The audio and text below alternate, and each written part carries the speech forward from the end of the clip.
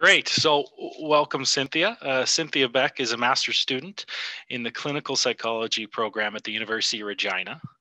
She works as a research assistant in the online therapy unit and provides voluntary suicide intervention response services to Southeast Saskatchewan.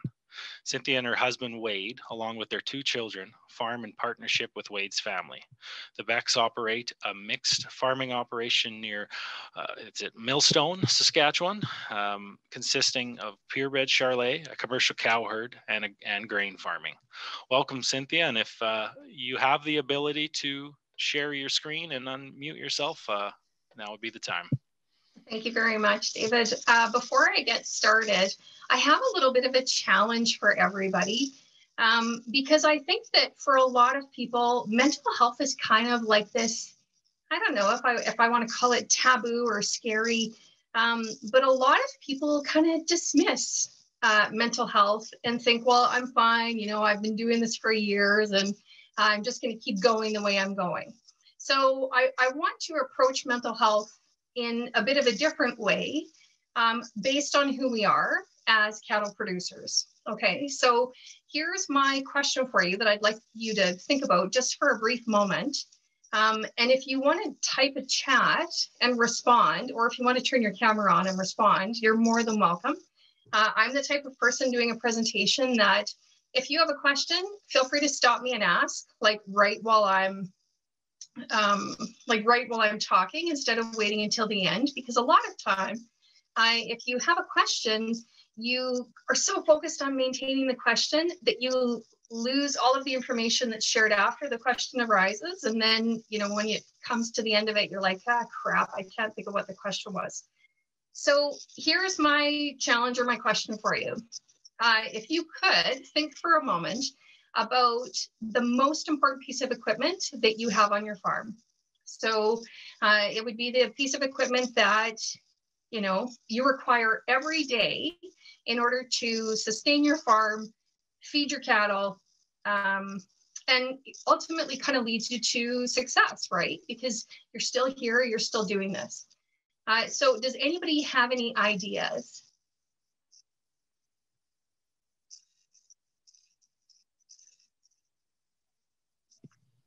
So Anne typed in me. Just one second, I'm looking at responses. I, I've got a person saying a tractor, silage wagon, tractor, silage wagon, the dog. That's awesome. That's the first time I've heard that response, and I've asked this question for a while. A the hydro, perfect. Yeah. Um, so I'm actually going to go back. All of those things are really important. They're really important pieces of equipment on the farm. But here's the thing none of that machinery, not even your dog, will work if if you're not there operating it. If you are not there um, providing the guidance, providing the fuel, um, making the whistles or the commands, uh, none of it will run without you. So I'm just going to kind of preface this presentation with that tidbit of information. You are the most important piece of machinery on your farm. Uh, you also are the number one driver behind the success of your operation, you and the people that you farm with or you ranch with. So I'd just like to leave you with that little message before we get started. One second, I'm figuring out how to share. I told Carson I would do this and now I'm like, screen share. Um, host, can you uh, enable me to share my screen, please? So I should have made you a co-host now, Cynthia. Oh, I'm Hope. sorry, Carson. Okay, well, you go ahead and share my screen. Actually, I just, it should be, you should be a co-host now, so you should be able to share your screen from the bottom. If not, I will load up your slides. Oh, I got it. Thank you. Sorry, guys. Okay, so what is mental health and well-being? Well, I kind of just basically described it in a nutshell, having the ability to run your operation. And I'm going to make it that simple. Um, and some people might say to me, well, there's a lot more to it. Well, yeah, I could science nerd you to death because I'm also one of those, uh, but I'm not going to today. So, in this context, um, what I'm talking about with mental health is if you are a person who has your mental who has good mental health, I'll say, you have the ability to meet your daily functioning needs. So, what that means is you have the ability to get up in the morning, go feed your cattle, uh, do herd health checks, um, maintain your machinery, uh, all of that stuff. And, and it's not a matter of getting through the day, because I know that a lot of us do that, but it's more a matter of, yeah, I can do this. I'm, I'm, I'm getting through, I'm being successful. You know, each day you you manage to make it through, and hopefully you have a sense of satisfaction at the end of the day. Um, balanced thinking is another part of mental health, and a lot of times we don't recognize the importance that thinking plays in our day to day operations. So sometimes um, we make decisions that we kind of look back on and go like, oh crap, like why why did I do that? I wasn't thinking. Well, sometimes we actually lose the ability or capability to think because we are experiencing um, challenges with our mental or physical health. Uh, and that's the good decision making part. Farm safe behavior. Um, I don't know how many people, I think that we all do this. We get swept away in all of the expectations or the obligations or the to-do lists where we just have so much to get done that it's kind of like let's just charge through this and get through our day um, and sometimes when we do that the the decision making abilities that we have kind of switches over into risk taking where we might take risks that we wouldn't normally take. Uh, and also mental health includes balanced emotions. So I don't know how many of you sort cattle with a partner, um, but sometimes, you know, we, we're not able to kind of hold on to our emotions and um, not lash out and be aggressive towards the people who are helping us, us or be aggressive towards livestock sometimes as well. Uh, and healthy coping. So I don't know about you guys, um, but stress is kind of a common. Uh, stress is a factor that I think everyone deals with. And there are there is such a thing as good stress. Um, there's also such a thing as really unhealthy stress. And when we have good mental health, it actually kind of lifts us up to give us the ability to deal with stress that we may not otherwise be able to deal with. Uh, so mental health kind of has lots of aspects to it. Um, number one, within your body, though, uh, it's a combination of our thoughts, our emotions, our bodily sensations, and our behaviors.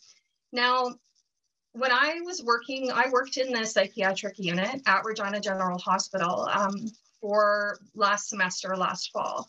And I was on the adolescent unit.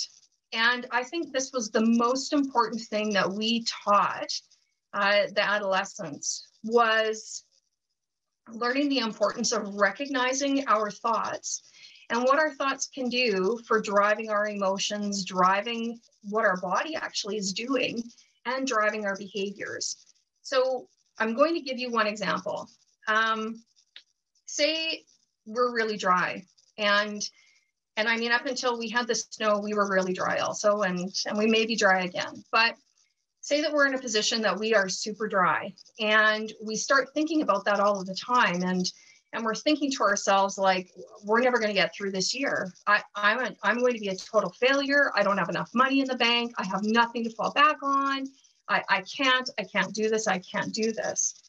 So as you are talking about all of that your nervous system will actually respond because your nervous system senses danger. Now, I mean, you're you're probably not physically in danger, and hopefully you're not, but your nervous system does not know that. So here's what happens: your nervous system kind of just goes and and reacts in order to fight whatever the danger is, or give you the ability to run away from danger. So, what happens is for people who experience regular anxiety or panic attacks, uh, it's kind of a combination of your thoughts uh, and how those thoughts are controlling or triggering your emotions and your body sensations. So, a lot of times when we kind of get that anxious feeling or we feel a bit panicky, um, that emotion can start to come out in different ways. So, for some people, it might come out as anger. Um, for other people, they might shut down because it's just way too much to deal with. And then what happens is we do other things to react. So we use behaviors to cope or compensate for the, uh, the thoughts that we're thinking, the emotions that we're feeling, or the sensations that we have going on in our body. So here might be an example. Um, right now it's dry out. Uh, I don't know how many people are calving right now. We kind of are coming to the end of calving. Um, but say that we haven't calved all of our cows yet, but I'm thinking to myself, like, crap, it is so dry. There is no way that we're going to be able to do this.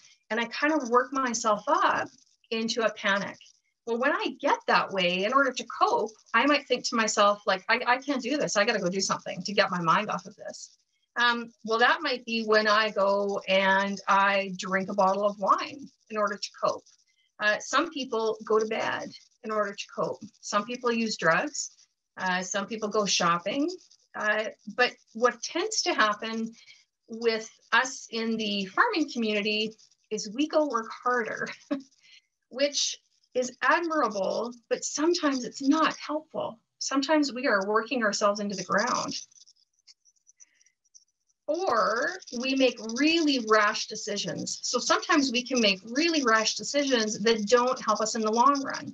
Um, we might decide that, you know, we've got 50 cows left to calve. Let's sell them, even though the market prices are potentially in the tank, right? Well, that's not going to help us long term because we've invested time and energy and money into those cows and we're not getting the money out of it after. So I, am hope that that makes sense. And if anybody has questions, please feel free to post it in the chat um, or I'll figure out how to see it on this side of my screen. so how are we affected by mental health? Well, I kind of already covered that. Uh, number one in our thinking, our decision making and the risk taking, how we handle stress, how we cope with emotion, how we communicate, uh, and our mental health drives our behavior and affects physical health. So I think I kind of mentioned this before. When we kind of, when we get into a situation where we may not be feeling our best, um, whether that's physically or mentally, we may come to a point where we just we just stop talking uh, we stop talking to our partner or our spouse. We start talking to um, potentially our employees, or we communicate in a way that is really, really unhealthy. Um, and I'm talking about communication more than, you know, someone sitting in the tractor and mouthing the signs of like, go open the gate and there's 52 gates. I'm, I'm not talk- talking about that type of communication, but more like, um, the angry, the angry, the resentful, and the bitter communication. A lot of people don't know that our mental health actually affects our physical health. So, for people who are dealing with anxiety, depression, um, they have really high levels of stress, and they're having difficulty coping, that increases our chance for cardiovascular disease, uh, heart attacks, strokes, that type of thing.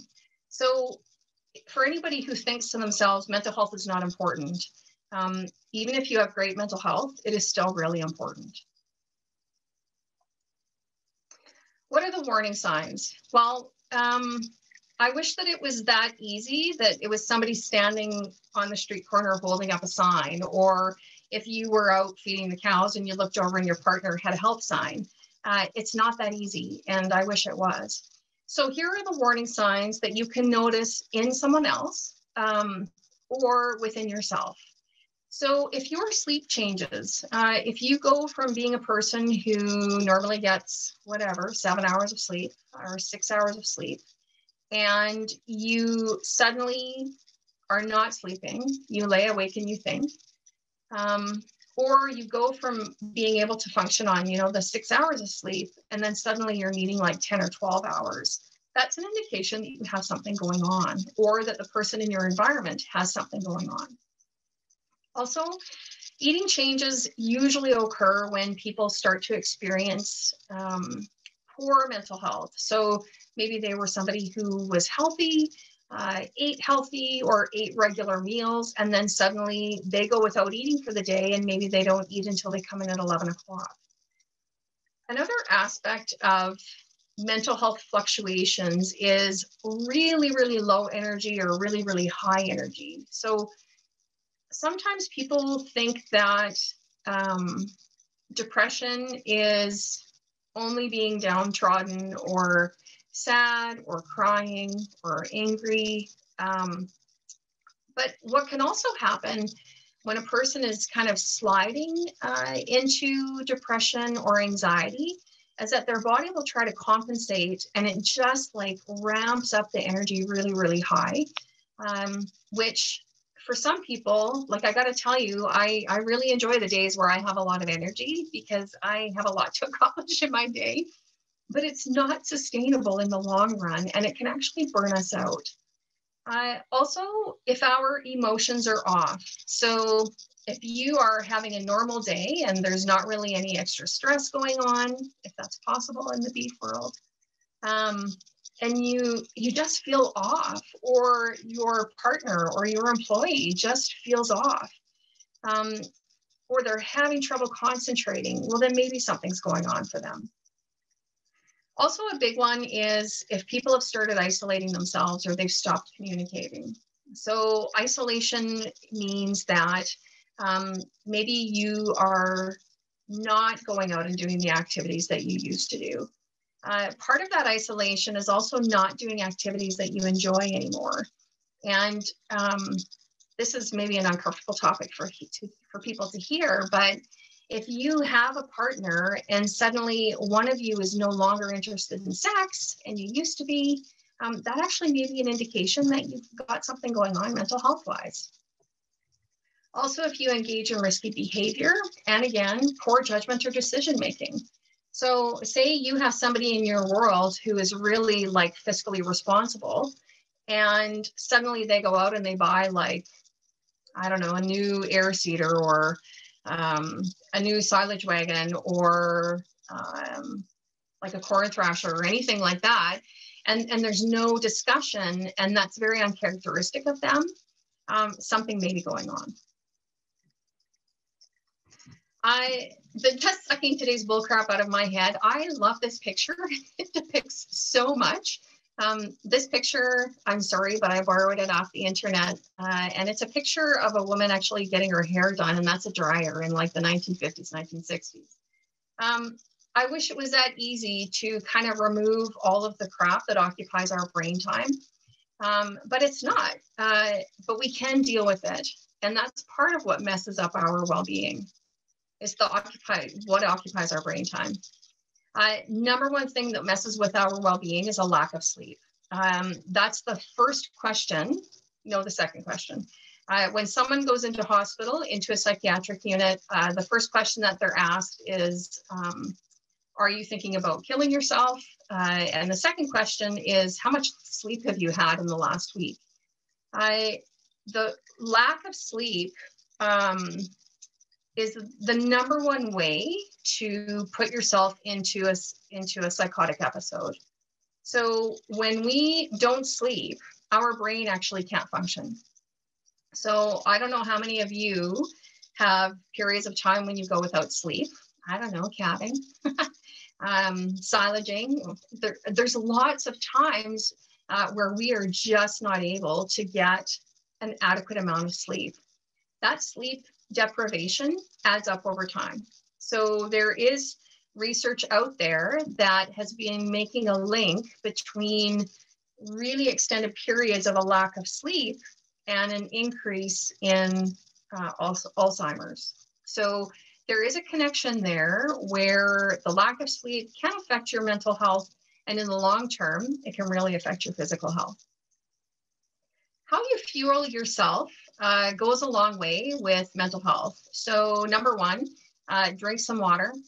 Um, your tractor does not operate without fuel. Well, neither does your body, even though you think it may can. Um, fuel yourself with food. Please eat more than one meal a day.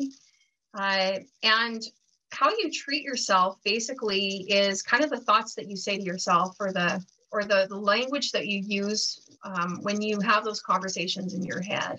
And I think that maybe everybody does this. We we kind of have a running dialogue um, going on for us. So if you use language like that was so stupid, I'm stupid, um, I can't do this, I'm never going to get through this calving season, uh, I'm not a good farmer, or if you are constantly comparing yourself to others, that is really harmful too, because number one, what other people are doing, uh, there is no way to adequately compare because we don't know the details that everybody else has. Your neighbor down the road has a brand new manure spreader and a silage wagon. Well, it doesn't speak to their success or your failure.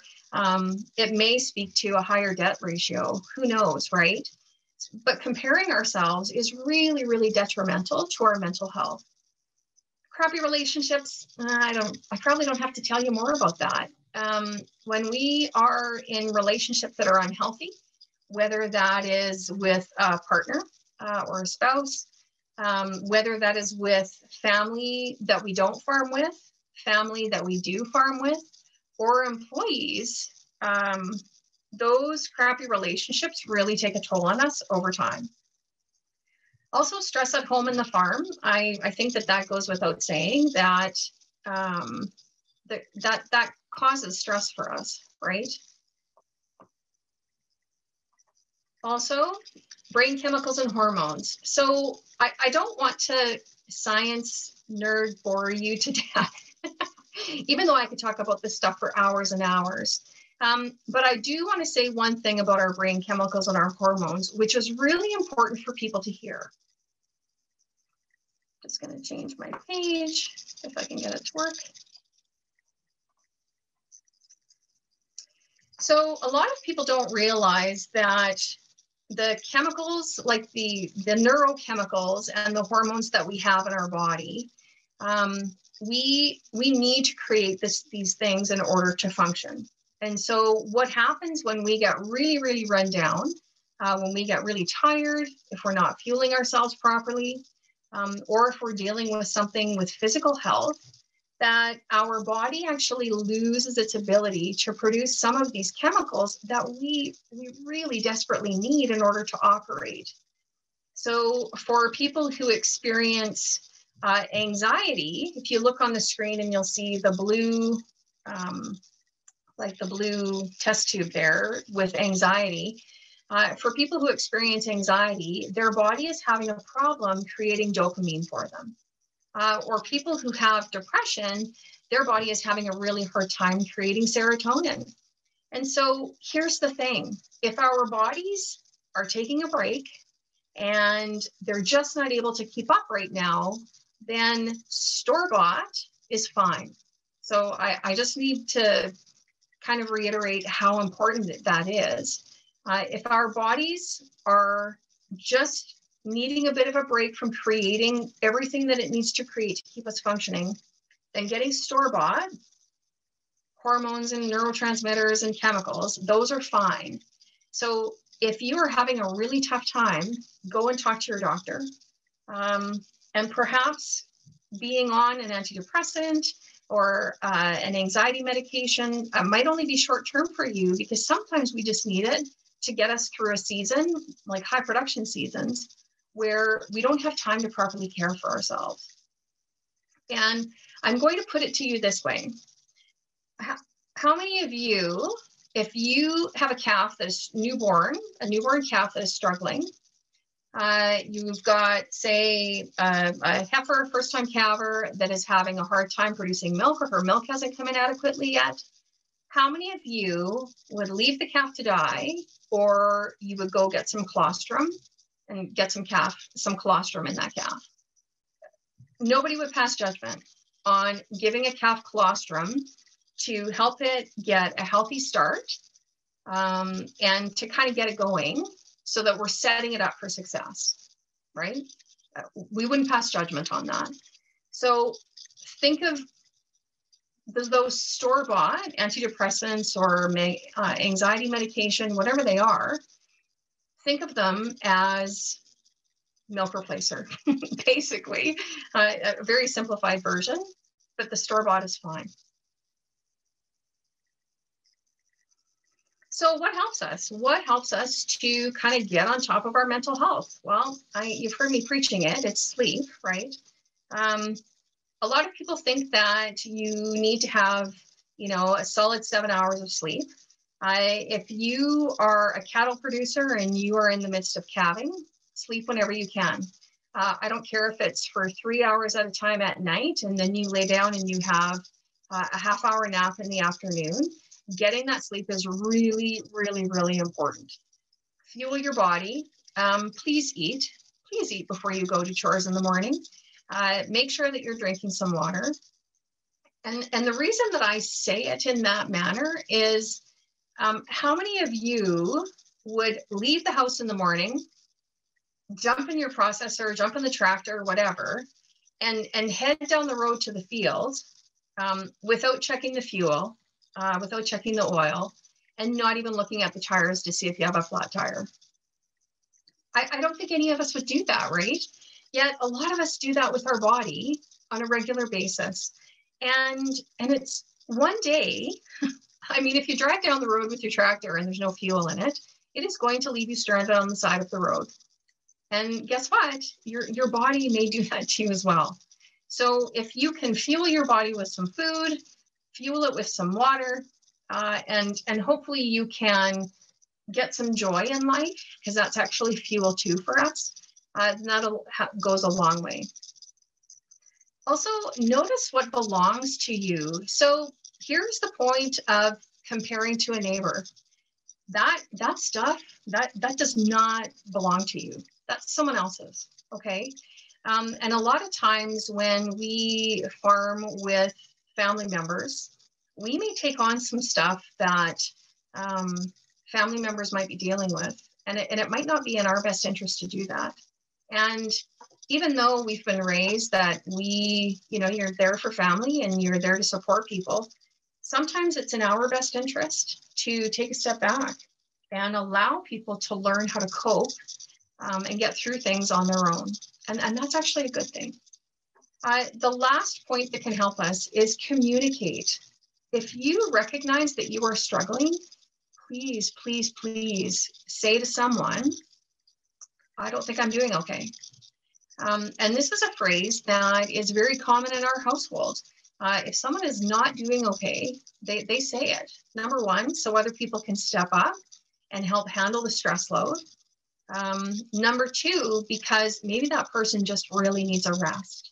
And if they can go and have a sleep while someone else helps out and does some of the work, then that person might wake up with a bit of a new perspective and feeling like they can continue on. Also, that communicate um, goes for speaking with a professional too. So um, sometimes the nearest professional that we have is our doctor. Uh, although I really would encourage everybody to kind of identify, even if you're doing great, identify the mental health people that are in your world around you. Uh, so I know that Manitoba, um, at least they used to, I hope they still do, had an amazing uh, farm stress line, farm health line. Uh, so that hopefully is an avenue for everyone. Um, my take home message for you, sorry, my daughter's dog is barking. Um, my take home message for you is that I hope that you take an interest in yourself and you invest time in your well being. And I'm going to kind of draw a relationship or a line between taking an interest in yourself and investing in your well being, the same way that you take an interest and invest in looking for the next herd sire for your herd of cattle. So when you recognize that you need a new bull, um, I don't know how many people just drive to the auction whatever day it is, and buy the first bull that you see. I, I, I don't think that any of us would have success as a cattle producer if we did that. When we are buying the next herd sire for our herd, uh, typically, typically we, we look at the bull. We take time to maybe look at its pedigree. Um, maybe go look at the mom. Does she milk? Uh, what are her feet like? Uh, how has this animal been fed, right? So I'm hoping that the one thing that you take home from this message, if there's only one thing, invest time and take an interest in yourself the same way that you would in looking for a new herd sire for your herd. Um, I also encourage you to identify what you need to stay the same. So here's what I mean by that. Um, if you were sitting here this whole time and thinking this is a load of crap, like I'm I'm great, there's nothing for me to improve in my life, then I'm very happy for you. Um, sometimes though, uh, life can sneak up and bite us in the ass. Excuse my language, but it really can. So identifying what you need to stay the same or what you need to improve means take a look. I, I'm sure that all of you when you are developing a business plan, planning um, like a calving season, calving rotation, bull rotation, however you want to talk about that, or even you know seeding your silage, you you're doing it with a plan, right? And you're recognizing, okay, um, here's what we need on this to improve this area, and you know what, this worked great last time, so let's try doing that again. It's the same way for us. Um, number one, ask yourself, am I getting sleep? Okay. Uh, am I eating? When was the last time I actually sat down and ate a meal without like eating while I was driving somewhere? Um, how are my relationships? Number one, how is your relationship with yourself? How are you doing? It's not very often we ask ourselves that. How am I doing? Uh, and, and if we do ask ourselves, we don't hardly ever take the time to answer. So hopefully um, in this brief time, which I could talk about mental health for hours uh, because it's so incredibly important, you can kind of identify that there are ways for us to take note of how we're doing, take note for how other people are doing. Um, and if you can improve your mental health or sustain what you've got, then you actually can work on sustaining or improving the success of your farm operation. Thank you. Are there any questions? Excellent. Well, thank you so much, Cynthia, for that. And um, I think we got a few uh, some time for a couple questions. If anybody has one, I would ask you you could raise your hand, or if you want to just unmute and dive in, um, please do. So, uh, Carson, sorry, I'll just address some of the uh, comments on the side. Yeah. So, one person asked about coffee works for hydration. So, um, I have to be honest with you, caffeine is my blood type.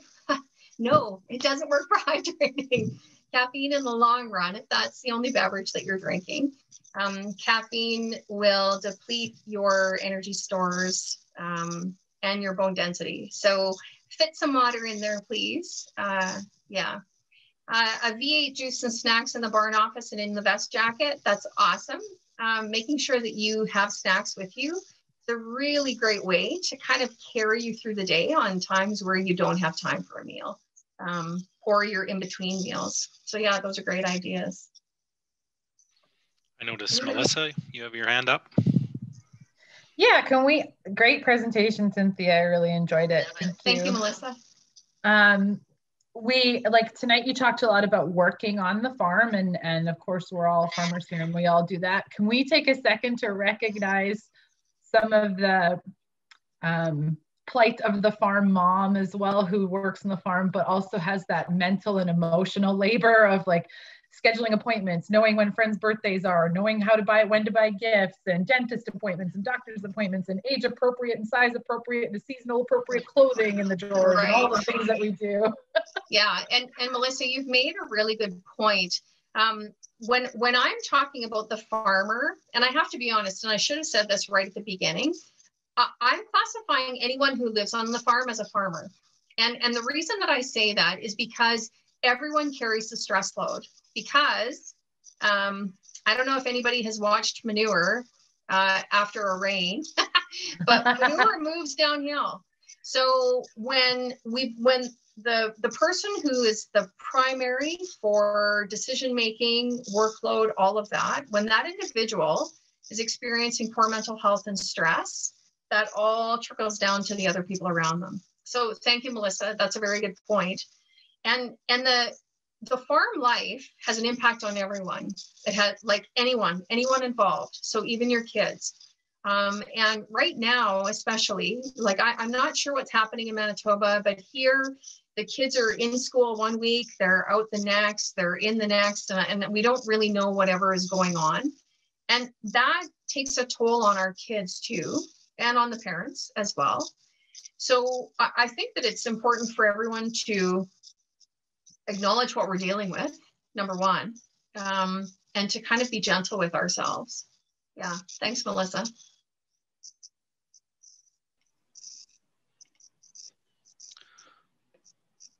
Any other questions? Um, we'll have some time at, at the end, as long as Cynthia can keep with us here and um, for kind of general questions to everyone that, that had presented. So I'm not seeing any hand raise or anyone going on mute. Um, so thank you very much uh, for that presentation, Cynthia. Cynthia, I really appreciate it. And hopefully you can stay on for the uh, question time at the end. For sure, Carson. Thank you. Excellent. Um, so I noticed at the start, I, I kind of rushed through my intro. It's funny, we talk about anxiety and everything. And um, I had a bunch of points written down of what I wanted to do in my intro, and then I could hear my son screaming upstairs, and I didn't want that to be here heard on the on the line, so I quickly sped through the start and didn't even get the time to intro, introduce myself. So I, I know many of you would have seen me uh, on our virtual district meetings or at our in-person AGM, if we can even remember what in-person meetings are like. But uh, uh, I am. My name is Carson Callum, and I'm general manager with Manitoba Beef Producers, and, and really happy to uh, be here with everyone today and moderating the session.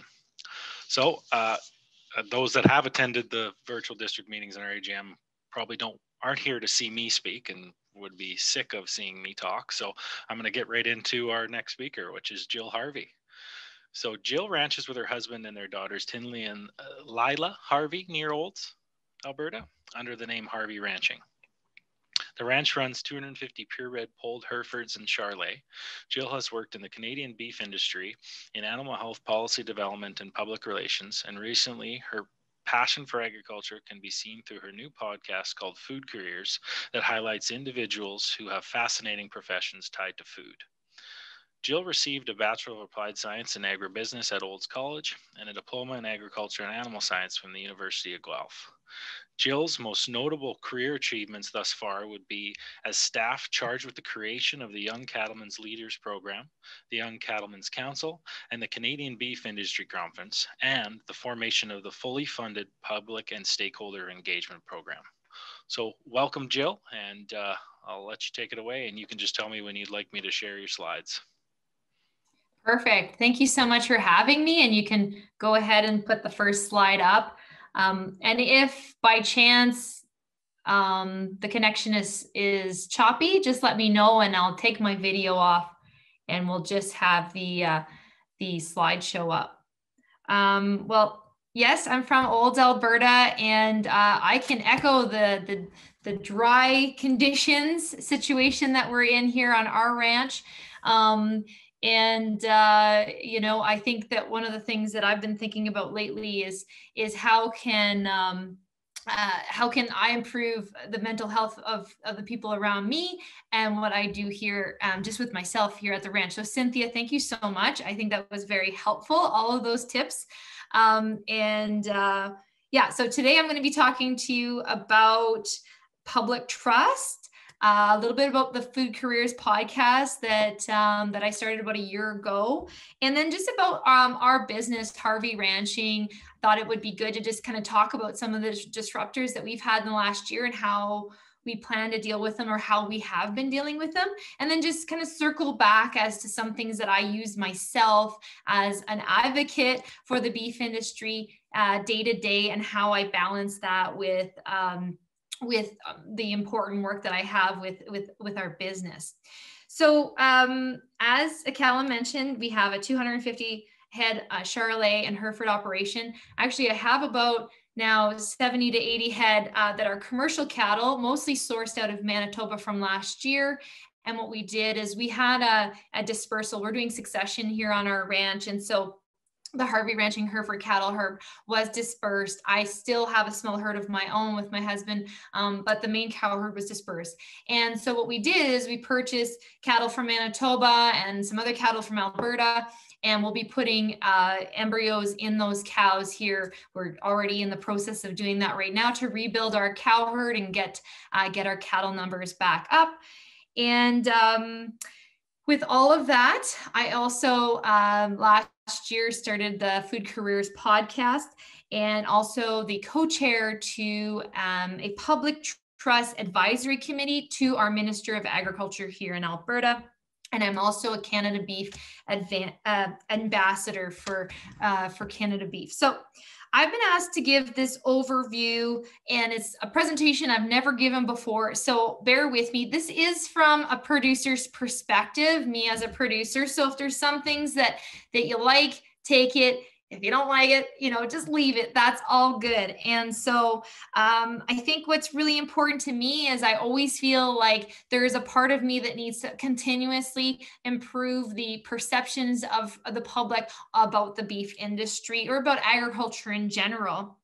And so um, my previous career was was everything public trust and that was up until 2019 and then into 2020 everything's changed right? We see so much um, is consumed in other areas. So it's taken a little bit of the stress off the beef industry, to be honest, to a certain extent, because a year prior to that, we were getting hit left, right, and center, Beyond Meat, the Food Guide, uh, every everything was hitting us, climate change, etc. So now it's a bit of a, it has been a little bit of a breather. And I'm going to explain some of the tactics that I think the beef industry has done and positioned themselves very well. And me, myself, as a producer, has done to also aid in that um, effort. So, what what we know is um, that as a beef industry, doing the right thing when no one is watching is what we do best. We do. We all know that that there's so much that we do on our ranches day to day. No one will ever know about where we're doing it for the land the cattle and the people right? And our communities. I think that that can be shown um, through the uh, we can go through the next slide uh, through our involvement in hosting uh, people coming to our ranches. I've had the Texas Farm Bureau, for example, with the gentleman with the cowboy, cowboy hat, come on through, come see our ranch, come see what we do here. And the same goes with having media. I've had Chatelaine, um, Earl's chefs through to the ranch. These are all things that, yeah, you don't get paid for doing it, but it's so important to collect credit for the beef industry and the good work that we do. Next slide. And that go that bodes well for some of the important initiatives that are happening in the industry which is the canadian roundtable for sustainable beef. Our ranch is certi- is verified and we're also obviously a part of the verified beef production plus program. And what i find uh, about it is it's an ability to measure all the things that we on we do on our ranch. So if there's ever the occasion where the industry is being challenged, we can say, yes, we've been doing all these things. We've checked the boxes. This is what we're doing. And it, it allows us to, to profile the things that we're doing when no one else is watching. We know that there's a growing gap between urban and rural. There's no doubt in that. But the public research, or sorry, the research is showing us that the public do trust farmers and ranchers when it comes to their information sources. And so we do have an important role to play. And so I think that's where I'm going to give a few tips of things that I do and and I'd love for you to to visit with me about that if you think that those are on the right track. So I would say right now the environment that's out there just in general on social media when when you're out and about uh, is that the public trust is at an all time low for everything, right? Everybody's like not sure what to think, or they're on one side of the equation, they're on the other, they're anti this, anti that. There's so much going on. What's really important, I think, and I is to be very cautious right now. And so we do not want to be in the limelight because that will create more differences and, and, and polarize people. So I think that the beef industry needs to be strong in its in in the fact that we're doing so many great things but we do not necessarily need to be screaming from the rooftops hey look at us we're doing this this and this what i think is really a good approach is what i call the pioneer woman approach so I'm not sure if any of you know Ree Drummond. She is uh, the host of Pioneer Woman. It is on the Food Network where uh, she's a city girl. She married a cowboy from Oklahoma. They have this huge ranch. And they started a few years ago. Um, she started this TV show from their cabins it's really nice where she cooks up all these delicious meals wholesome hearty meals and then it's usually for a purpose for maybe a processing day or a day where they're uh, burning some fields or if they're fixing fence or there's there's different things. And then what she does is it's all about the food which everyone can relate to. Anybody can relate to the food. But then somehow she talks about the broader story and, and it becomes advocacy without shoving it down anybody's throat. So it's it's quite it's quite something. I think that that approach is so powerful. I was flipping through one of her magazines a couple days ago because I have, you know, her her teacups and I, I have some of the clothing line that she has. And it was funny because, you know, she could have this magazine plumb full of advertisements from, you know, Nike to to Coco Chanel, whoever it is. But one of the one pagers, there was a cowboy and he's stretching fence and and he's stretching the fence it's, it's like so simple. It's something we all do on our farms all the time all summer long. And all it says is you know this is cowboy whatever one of the ranch hands and we have to keep our fences up and there's this much fencing that needs to be done on this many acres and this is why it's important. And and it's not done in a way of like man we're beef producers we're the best this is why we do it. It was just such a uh, it's just a matter of fact thing that they do on their on their operation. What an intelligent way to connect with consumers, especially when we're in this kind of dynamic where where people don't want to be told, they want to discover. So that would be my suggestions. If you're not comfortable with social media, like putting your own content up, taking a picture, taking a selfie, doing whatever else, I would just suggest retweeting what Manitoba Beef Producers is putting out there, or the Canadian Cattlemen's Association, uh, Ducks Unlimited, some of the valued partners that that the industry has, and just looking at the source and making sure it's right. One of um, the other suggestions I have is that you know you you look at the some of the hashtags of what's more popular. You know, eat local. Right now, we must do everything we can to support our local communities. We know that. So when you do go and, and get takeout, or if you go dine outside at depending on what the mandates are and regulations are at a local restaurant, and take a picture of the beautiful food and say, man, we really loved it. Eat local, supporting our local our local restaurants. The reality is is that there's some predictions that up to 30% of restaurants, dine-in restaurants will be gone in the next six months.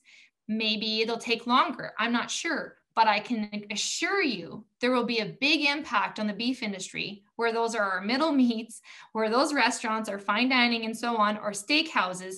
And that could have a huge impact on us long term. I had an interview with Marcel Blais, who is the president of Chop Steakhouse.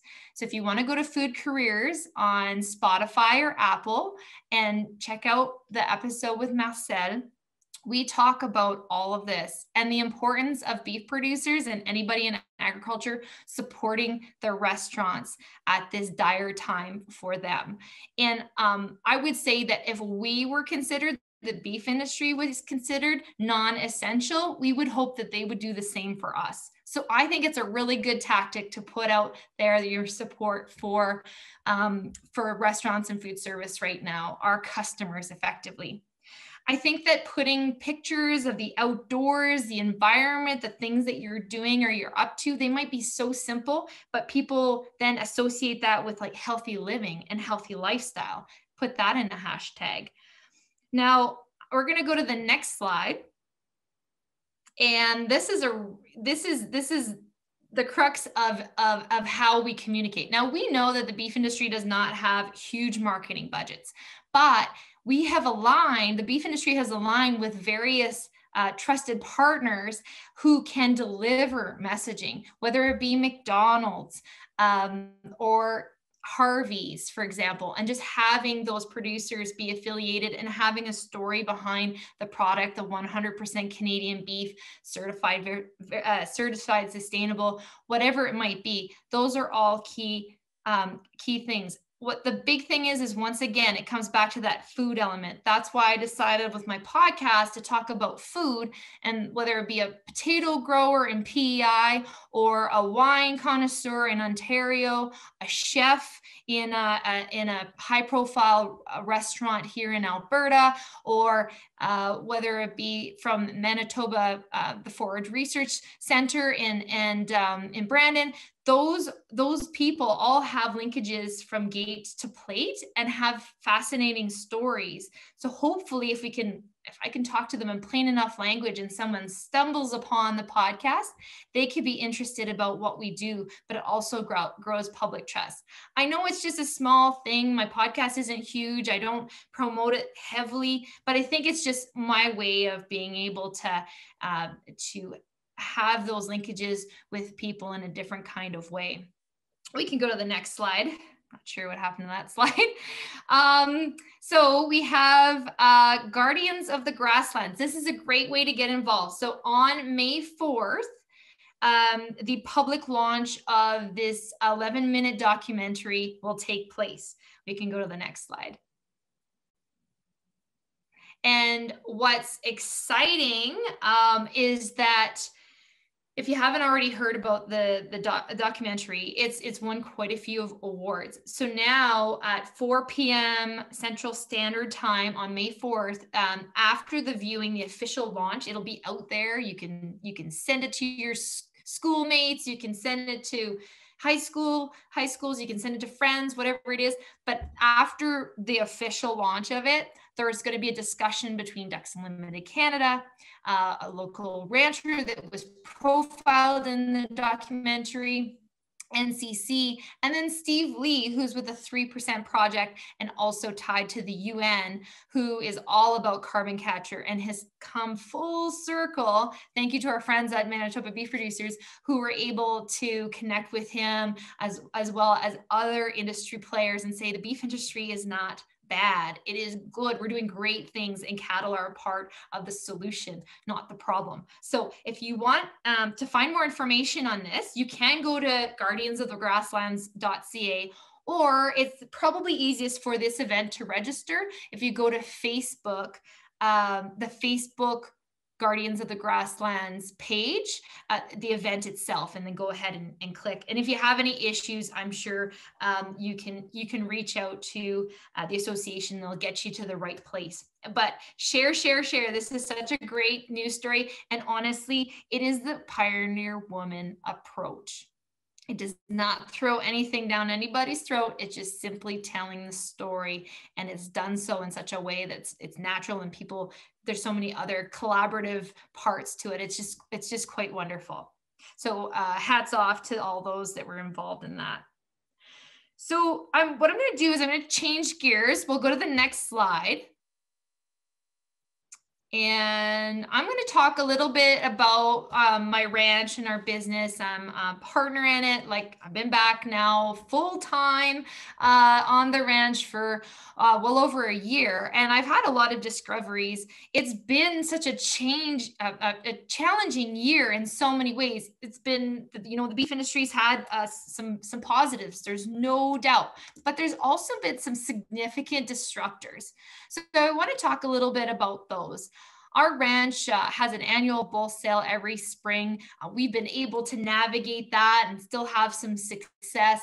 Our embryo sales, we our, our embryo sales are a third of our business, and uh, we would be one of the larger Hereford exporters for embryos in North America um, to the world. And so much of our client base is in the EU. New Zealand, Australia, South America, US, and Canada. And we've worked many years over the years for to build this particular business And what our strategy has been is not only to be at events like Canadian Western Agribition um, or uh, the Northlands event, the Farm Fair event, where international guests come in and fly in and meet them and have them come to our ranch potentially after. But also we go to the to the marketplace and we evaluate what they're doing, what they need, what they want their cattle to look like, and how we can service them best with not being able to travel or have them travel to us, that's been a challenge. So that has been one area that we've been looking at.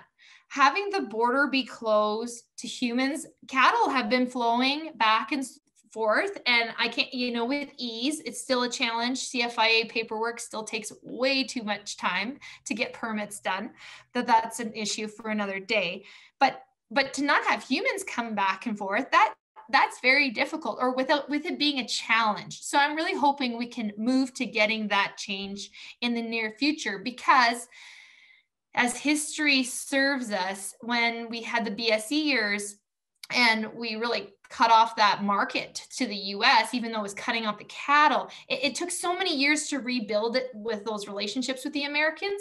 So here it's the it's the humans that can't go across, but it's still confusing. It's still awkward.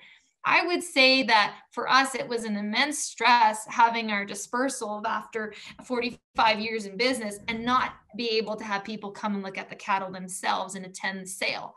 So we were able to navigate it with online platforms and just promotions and all of that. But still, I would just say it's still such a limiting agent uh, for us and something that we've got our eye on events as i mentioned customer impacts. I'll talk about i've talked about that earlier you know the the, the effectively the, the meat side of the business and then supply costs everything's skyrocketing and rocketing. So with the polar vortex that we had in february we thought well you know what? We do need more facilities. We do need to build a building.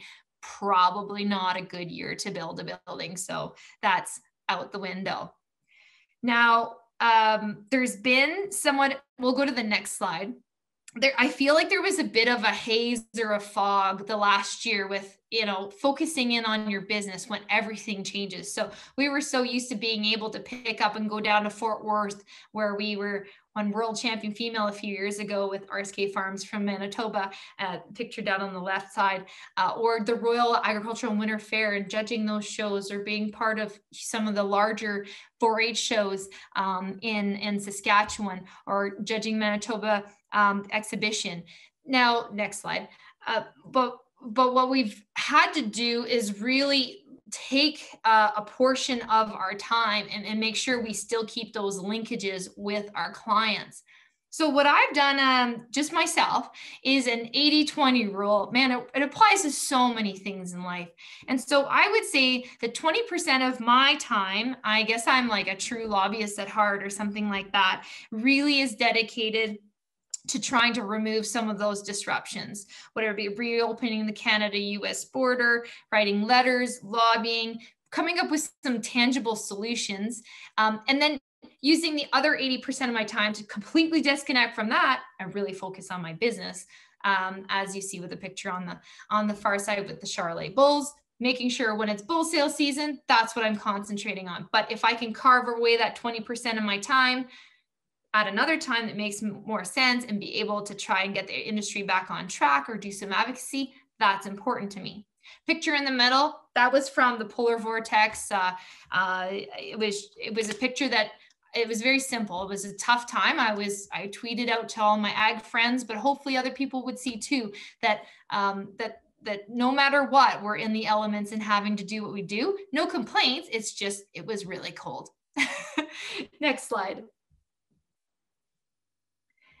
So uh, one thing I've been lobbying for the last uh, few weeks here, and luckily my committee, um, the Agriculture Industry Advisory Committee to the Minister, uh, Minister Dreeshen have been very supportive, um, is to make sure that we have a plan to have rodeos, 4-H, equine, farmers market, cattle shows, have them take place in some way, shape, or form that is a part that is not just virtual.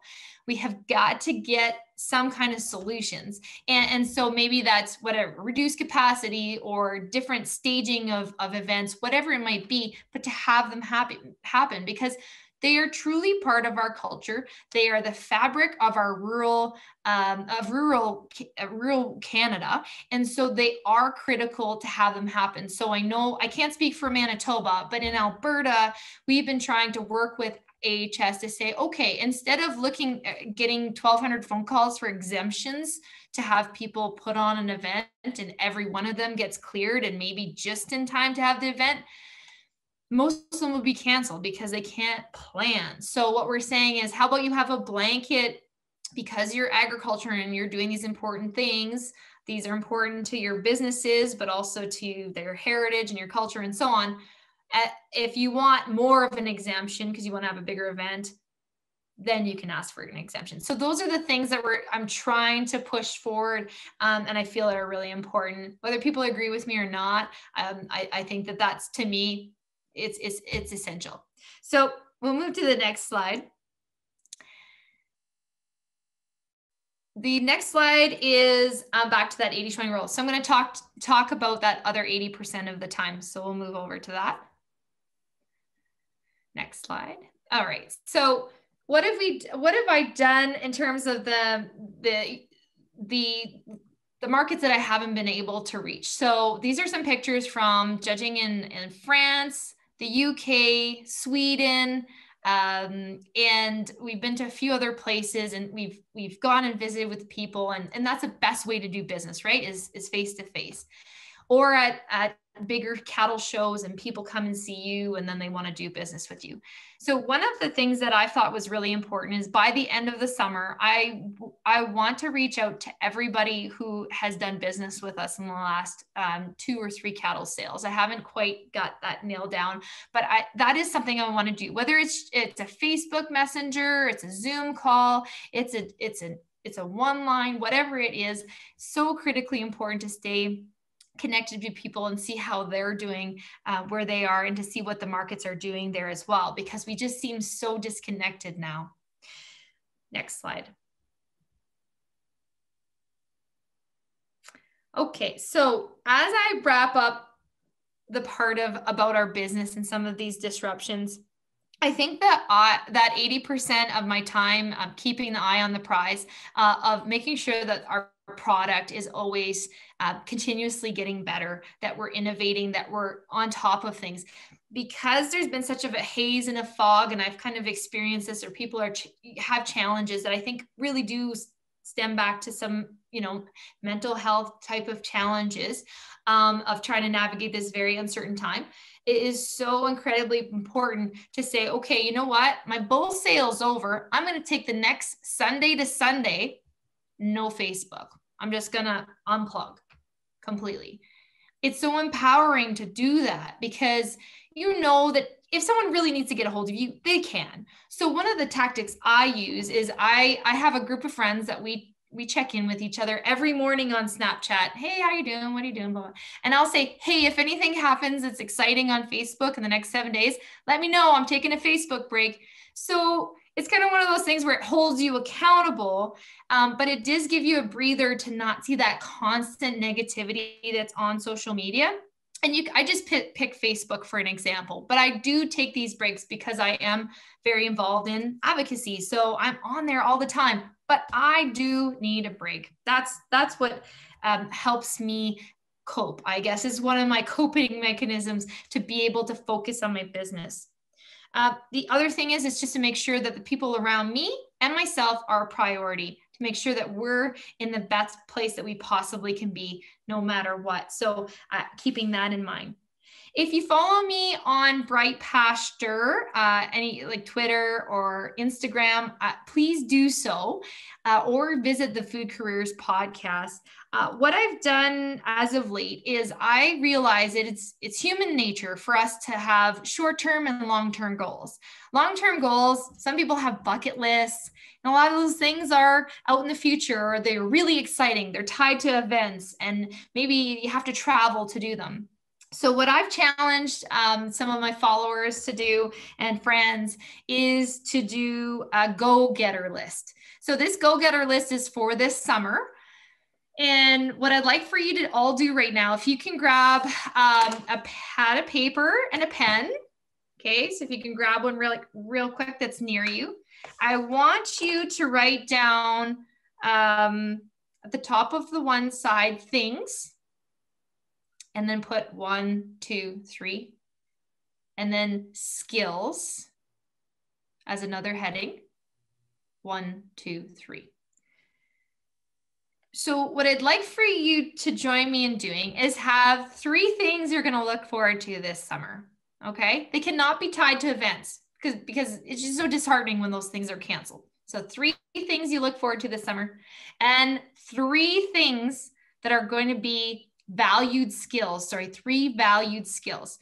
So, skills that you're going to acquire by the end of this summer. Now, the reason why I, I think that human nature, we need these things to look forward to. So if you have three things, I'm going to give you an example of what I started with. Um, my, I have two performance horses. I want to grow their manes by an inch and a half.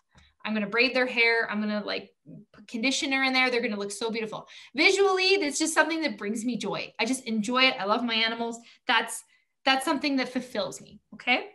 Now, the, the next the next thing on my list will probably be uh, finding some really exciting uh, people to interview for the end of season two of Food Careers. Then uh, another one I'm considering uh, that I haven't written down yet. I haven't written down the third one yet. Is I want to improve my riding skills, my horsemanship. You know, I just uh, that's one thing that I continuously think there's some room for improvement. I also want to beautify the landscaping and um, the look of my hip roof barn, the inside and out. I want to do some things there. And I think that if I, I include some of my my business goals, which is contacting every one of my customers that have purchased from us in the last two years by the end of the summer, I think that will be something that I'll be I'll be pretty excited about doing and accomplishing by the end. I also have been taking over the administrative side of our of our business. So QuickBooks, HerdTrax, uh, Access, Excel, all those things. I want to master those skills. So they would be part of my skills list. And so you can make this whatever you want, but if you could go ahead and hashtag go getter, I would love to hear what you have put on your list for this summer because there's so much that we can work on now when things are a little bit different time so that whenever everything opens up again, we are ready to go with some new skills in our tool belt and uh, some sense of fulfillment for the things that we've done.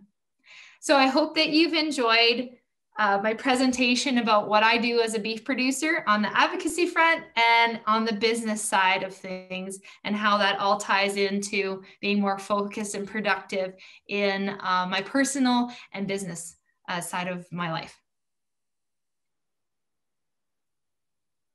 Now, if there are any questions, I would totally entertain them.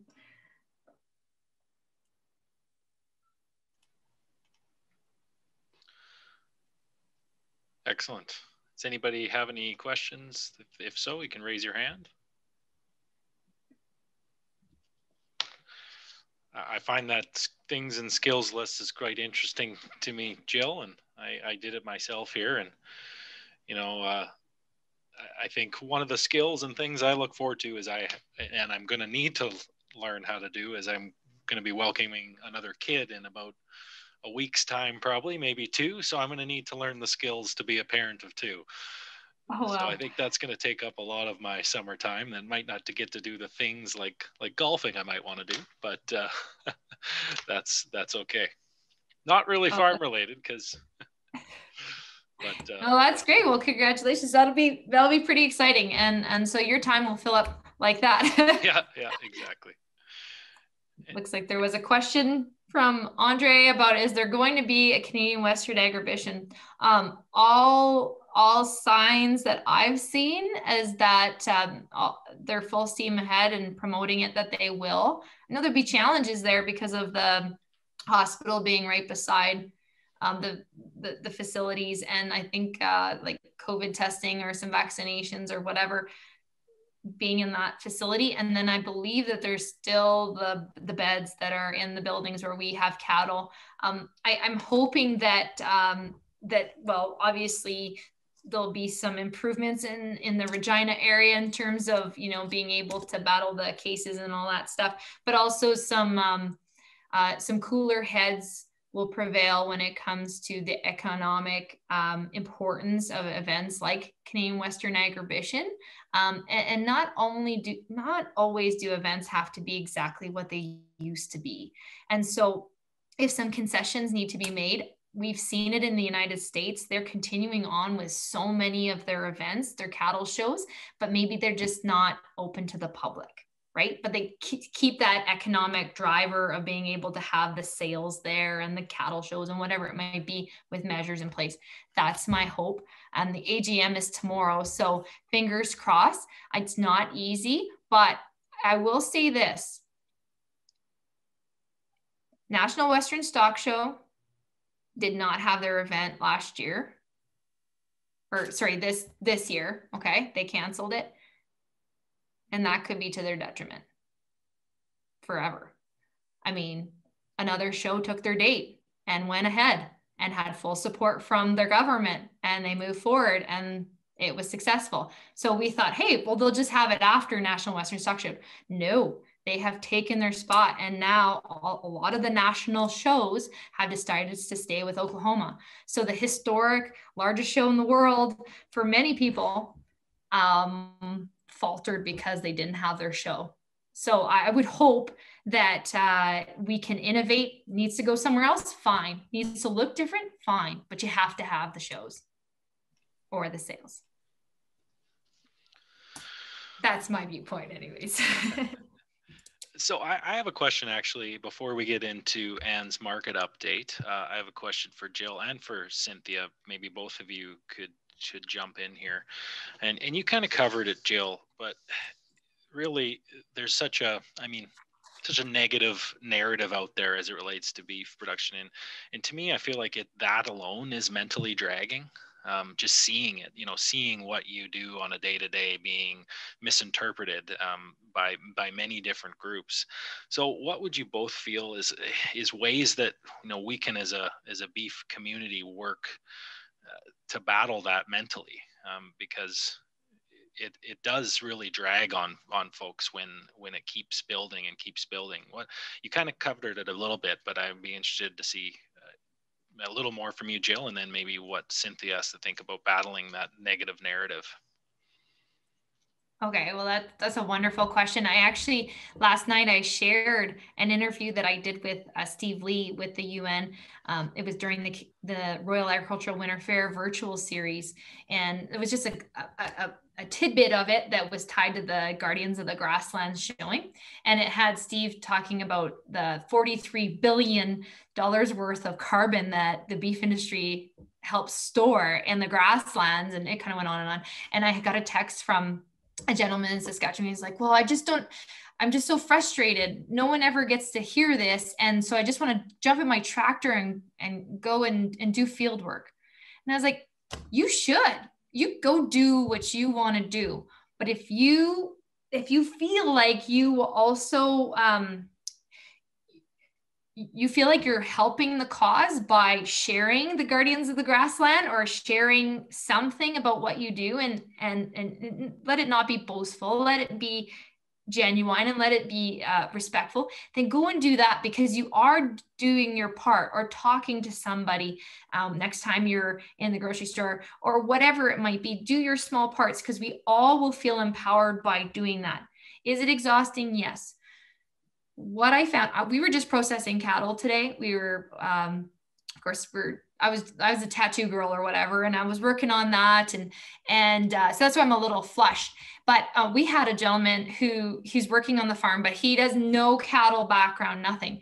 Anyhow, so he was there and he had his camera out at one point. I just noticed like last minute, and he was uh, of castration, and so I was like, whoa, whoa, whoa, whoa, whoa, no, no, no, no, no, no you're not going to take a picture of that. And he's like, oh, sorry, I was just going to send it to my girlfriend. I'm like, no, no, because that could end up on social media and it'd be twisted 10 million different ways. And so, and then he's like, Oh, okay, what are you talking about, Jill? So I explained to him what I was doing this evening, talking to all of you. And I was like, Okay, I have now had a conversation with you about, you know, the the medicines that we use, the reason we castrate, why we castrate, the timing, all those things. But if you go put that out there, no one's going to be able to explain to that to people face to face or in a way that's really going to be um, uh, able to understand it and, and be like, okay, there's a reason why that makes sense.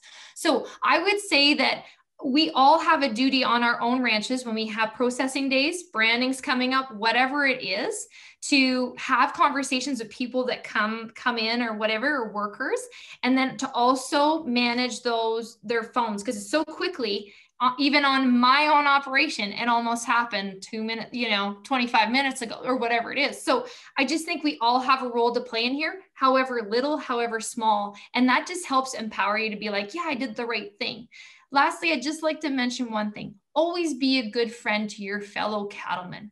If your friend puts something on social media um, and maybe hey i maybe i've even done it. I, i'm not sure but you were having a moment you put it up too quick it has a spelling error or or or it just probably doesn't look quite right you tell them. You tell them and you tell them in the nicest way possible. You could lose a friend. I have before where someone's like hey why did why did you it's not bad it's fine. I said well to someone who doesn't understand what we do or has a full picture that kind of looks bad and so I, I, think we all need to be each other's friends and then also just support us in the good times when you did put something great out there and say, shot in the arm, we're doing something good. And you know what? Our associations are doing such great work. We never sometimes hear about it because we're so busy on our farms and ranches. But I have I have that knowledge right from my previous career to be able to say we're in great hands. We're going to continuously fight this fight with collective partners, which is so important. Wonderful answer. Thank you, Jill. And Cynthia? Um, I think that Jill made some good points. And at one point, Jill talked about disconnecting uh, from social media for a period of time. Uh, for anybody who is struggling, uh, and let's face it, there is so much, um, I'll almost say propaganda. There's a lot of propaganda out there right now that discredits what we're doing, and it can weigh on us. Um, but here's the number one pointer that I would give you, uh, don't react from a place of emotion. Um, because when we are reacting from a place of emotion, uh, typically we're not level headed. Uh, we may choose to react in a way that um, has negative consequences long term. Let's face it, we're all business people. Uh, and you just never know when like, the information that's being put up there, number one, who's the audience? right? Um, a lot of information that's posted is written with a slant, it's skewed to elicit a reaction from the audience that it wants. So um, if there is anybody who is dealing with, um, let's say PETA, for example, uh, PETA's writers try to elicit a strong emotional response. And that's how they get people to do things and to move uh, in a direction that they can um, kind of manipulate uh, the outcome, right? So if you're reading something on social media and you have a really strong emotional reaction, I encourage you to step away and give yourself some time to cool down, even if you have to wait a few hours before you choose. Number one, you choose to respond. Do you choose to respond to that? Is it worth your time or your mental energy? Uh, number two, how you choose to respond. So I think that for us, we are people who operate from integrity. And, and I think that that's a blanket statement that we could make. So let's keep that in mind uh, if we do choose to respond to some of this propaganda that's out there. Uh, are we are we operating from integrity? Um, and it's okay if you've got a fire in your belly. Uh, I mean, if you were to ask my husband about me and the fire that I've got, um, going on, burning inside of me some days on certain topics. Uh, there's a lot of times where I have to walk away and calm down, um, or I may something say something that is more detrimental than than beneficial. Uh, so the the stirrers who like to get reactions, those are the people that that it's important to recognize the point. Like, what are they trying to do? What is their purpose with posting that information? the moment that you recognize that, um, you withdraw your fuel to their fire. So I don't know how many people have you ever seen a fire department out there fighting fire with fire um, or pouring gasoline on a fire that's already going when they're trying to distinguish it? Uh, no. So by withdrawing, number one, you could withdraw your readership from them, withdraw your business from them, however you choose that. But you remove the energy or the momentum from whatever they're trying to do when you take back your power from that emotional response. That's the number one thing that I would like to say about that. Um, also, just quickly, uh, someone had asked uh, in the chat box before while I was speaking, and I missed this, and I think it's really important to address this. Uh, someone had asked um, if I have any tips for parents, for moms, uh, or parents with young kids who are trying to raise them and farm. I'm I think the number one tip that I would encourage people to do is, is recognize your expectations that you have on yourself. Um, how many people make to-do lists? How many people who make to-do lists have 50 things on their list to get done in one day? It's not possible. We are setting ourselves up for failure constantly. Failure is exhausting. Man, failure is exhausting. And, and it really takes away from our energy for actually caring for our children, feeding the kids, doing the chores, that type of thing. Number one, uh, set really realistic expectations. Um, instead of having a to-do list, have a ta-da list, like ta-da. Um, those are the things that you can accomplish in a day, really reasonable. There are days where I know individuals who write their list and all it says is get out of bed and shower. There's nothing wrong with that list. It is achievable, hopefully. Um, and the person can feel that they've accomplished something if they can actually get that done. So instead of to-do lists, make a ta-da list. Uh, number two, like, so you've lowered your expectations. Hopefully they're realistic for you. You are setting your ta-da list. Check the expectations that you're trying to meet. Whose are they? Uh, quite often, we are trying to mind read and meet other people's expectations or obligations, and that's not helpful for us. Um, so if you are a mom and you are farming, you are raising young kids, uh, you know what? The expectation that you will have a clean house 100% of the time, unrealistic, uh, unhealthy, unnecessary, very unnecessary. No one died from dirt on the floor. And I know because I've raised like my, my, I have an adult now that I've raised, and he never died from the dirt on our floor. Um, so, so please be gentle with yourself. Uh, another thing is if you have another adult in the house with you, that you, you're in it together.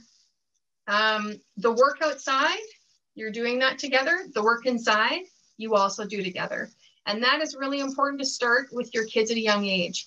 Um, even if they are two years old and they can walk and they can carry a toy, they can put that toy away.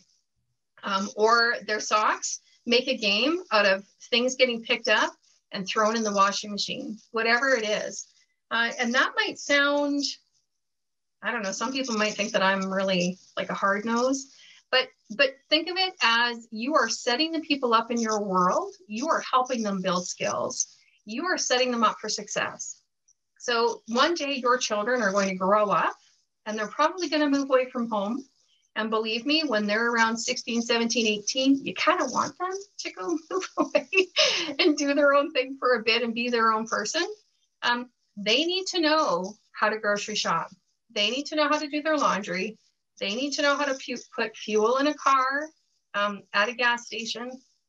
All of those things that we don't typically right now in this generation, my generation, um, and us needing to be able to do it all and, and to be that, you know, that person that just can accomplish so much, uh, we've kind of taken away learning opportunities from other people. So, so be gentle with yourself, set realistic, realistic expectations, have a to-do list, um, and please get some rest whenever you can. When if your kids have a nap, then take a nap. The dishes will wait. Um, and and someone else can help with them as well. So that's that. Thank you. Wonderful. Well, phenomenal answers um, from you both. And I will just revert back to your comments on, on kind of answering my my question. And I think taking a step back from some of those negative posts, I feel is very important. And I will plug um, the public stakeholder engagement group that that Jill helped, you know, form, because they're a great avenue. If there's some big social media posts or somebody's reached out to you with some big propaganda messaging, uh, we've we've had producers call us and we've leveraged that group of what's the best way to approach it and just working in that team atmosphere to think how can we respond to this in the best way possible is it was a really good thing to have in the industry. And i and i think that group was is phenomenal to be started and just allow allow producers themselves to take a step back and think okay how can we properly do this and not get into a back and forth argument? So i'll just plug that quickly Okay. Um, well, thank you to you both. Uh,